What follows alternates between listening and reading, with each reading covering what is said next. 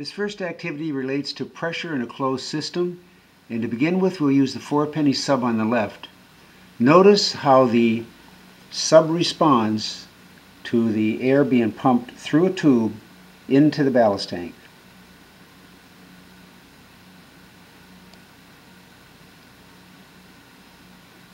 This illustrates Pascal's principle that pressure in a closed system is equally transmitted to all parts.